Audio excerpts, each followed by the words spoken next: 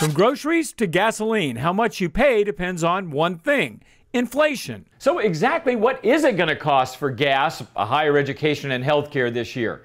Here's what the experts are predicting for inflation 2015. According to the 42 professional forecasters surveyed by the Philadelphia Federal Reserve, core inflation in 2015 should remain low at 1.7%.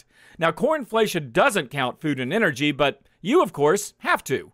The USDA is looking for 2 to 3% higher food prices this year. That's not too bad, but some things will definitely be worse. After increasing 11 to 12% in 2014, beef prices are expected to go up another 4.5 to 5.5% this year. The news on energy, however, is super. According to the Energy Information Administration, regular gas should average about $2.60 a gallon this year. That's nearly 80 cents a gallon less than last year. According to the College Board, the cost of a four year public university is expected to rise about 2.9% for in state students during the 2014 15 school year. Now, that is higher than the inflation rate, but historically, it's a small increase. And last, and definitely not least, health insurance.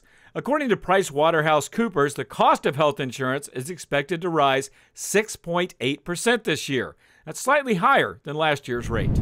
Bottom line, inflation's expected to remain low this year, but you may not notice it if you're paying for things like healthcare or college. What you need now is a little more information, maybe some links. They're waiting for you at moneytalksnews.com. Just do a search for Inflation 2015. For Money Talks News, I'm Stacy Johnson. Love saving when you shop? Get the free Money Talks newsletter. It only takes seven seconds to sign up, and it's full of deals and news you'll really use. Do it now at moneytalksnews.com.